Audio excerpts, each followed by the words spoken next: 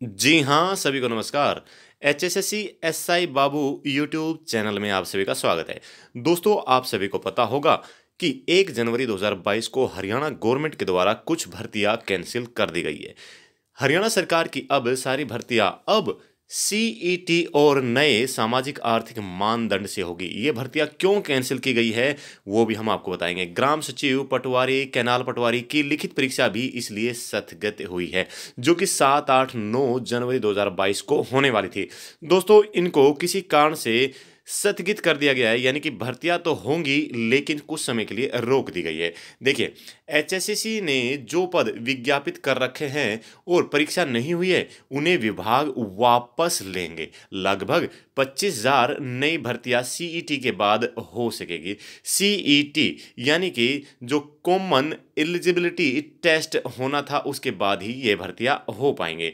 देखिए दोस्तों न्यूज़ क्या है? एक जनवरी, हरियाणा सरकार की अब सारी भर्तियाँ कॉमन एलिजिबिलिटी टेस्ट के बाद हो सकेगी हरियाणा कर्मचारी चयन आयोग ने जो पद विज्ञापित कर रखे हैं, मगर उनकी लिखित परीक्षा नहीं हुई है, वे सभी पद संबंधित विभाग वापस लेंगे और उसके बाद नए सिरे से पद भेजे जाएँगे। ये एक और भी अच्छी बात है कि वैकेंसियाँ बढ़ने वाली हैं और साथ में गवर्नमेंट चाहेगी तो इनके ऊपर फ्रेश फॉर्म फिलअप किए जाएँगे, यानी कि वो बच्चे जो फॉर्म फिलअप नहीं कर पाए थे पिछले एक साल के दौरान, वो भी अभी अप्लाई कर सकेंगे। जिनकी ग्रेजुएशन हो गई है, जिनकी एलिजिबिलिटी यानी कि योग्यता पूरी हो गई है प्लस टू पास और बीए पास जिस हिसाब से, जिस परीक्षा में जो भी मांगा जाए। और दोस्तों, ऊपर हेडिंग देख लीजिए जिनकी परीक्षा हो चुकी है, वह भर्ती पुरानी तरीके से होगी। यानी कि जो भर्तियाँ जिनकी परीक्षाएँ हो चुकी है, वो पुराने तरीके से ही होगी। यानी कि जो पहले दस नंबर का मानदंड रखा गया था बच्चों को देने का फादरलेस का ईडब्ल्यूएस का नो जॉब का अदर अदर अदर का। वो अब घटाकर पाँच कर दिया गया है, यानी कि पाँच से ज़्यादा मार्क्स उसमें नहीं दिए जाएँगे। सरकार ने 30 दिसंबर को बदल दिए अंक, ये महत्वपूर्ण है।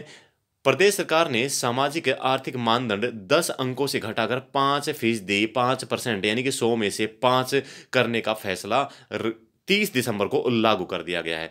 तो दोस्तों, ये एक बहुत ही अच्छी न्यूज़ है कि भाई, अब उन बच्चों को ज़्यादा से ज़्यादा मौका मिलेगा आगे बढ़ने का, जो कि सिर्फ़ मेहनत के आधार पर आगे बढ़ने का ख्वाब देखते हैं, सिर्फ़ मेहनत के आधार पर। और जो बच्चे इन दस अंकों के सहारे सोचते थे कि पच सौ में से पचास ठीक कर दिए और दस ले लिए, साठ हो गए सलेक्शन हो जाएगा। या दो, सौ में से सत्तर ठीक कर दिए, दस अंक वैसे ले लिए और अस्सी हो जाएगा सलेक्शन ले लेगा। लेकिन जो बच्चा पहले सौ में से छिहत्तर लेता था सलेक्शन नहीं हो पाता था, लेकिन जो बच्चा सौ में से पहले छियासठ लेता था, सड़सठ लेता था, उसका सिलेक्शन हो जाता था। ठीक है? तो उसी चीज़ को देखते हुए गवर्नमेंट ने कहा एक अच्छा कदम है। देखिए हेल्प करना कोई बुरी बात नहीं है, लेकिन इतनी भी नहीं कि सामने वाला मजबूर हो जाए हमेशा हेल्प मांगने के लिए।